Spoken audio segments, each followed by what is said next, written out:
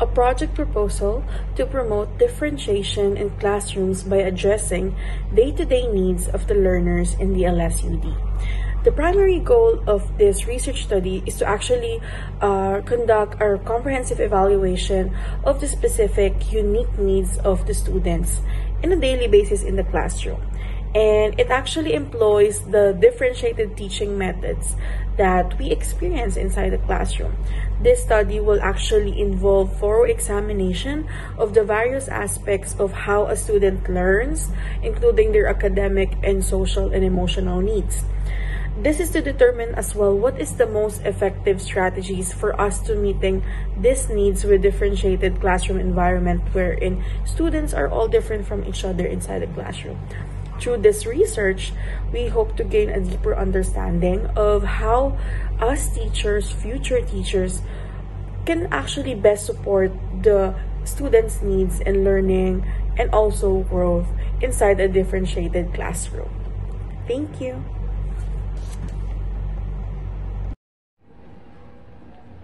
Statement of the problem. The study aims to evaluate the daily needs of learners in differentiated classrooms. Specifically, the study seeks to answer the following questions. How is contextualization related to differentiation within the classroom? Number two, what are the benefits of addressing students' needs in the classroom? Number three, how does the use of differentiation in the classroom promote diversity? Number four, what recommendations do teachers have for meeting students' needs? Creating a safe and low-anxiety environment is essential to ensuring that the learners are receptive to the lessons being taught. Using differentiation in the classroom can help teachers identify the specific needs of each student and tailor their teaching approach accordingly. By taking this approach, teachers can prioritize the individual needs of their students and reduce the likelihood of problems arising.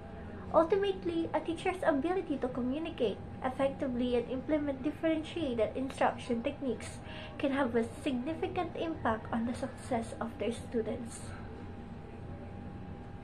So moving forward for the objective of our project proposal, first is we want to identify the various needs of the students, specifically their needs when it comes to their academics. And number two, we are going to consider the use of differentiation or the teaching approach um, techniques to meet the individual needs of the learners or the students. And number three, we are going to investigate or find the effects of differentiation techniques in the classroom as well as in the individual learning of the students. And for the last objectives, uh, we are going to confirm the benefits of differentiation in the classroom in real-world situations. So let's move on to the process of our project proposal. So first, we are going to conduct thorough research on differentiation in the classroom. And number two, we are going to identify the various needs of the learners on their day-to-day basis.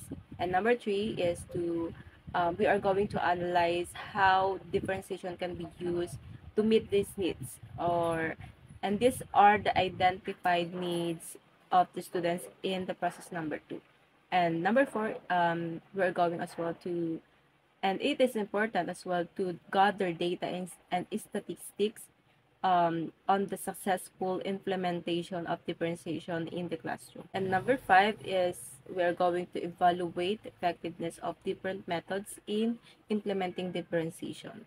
And number six, um, it is important as well to consider the potential challenges and limitations of implementing differentiation in the classroom.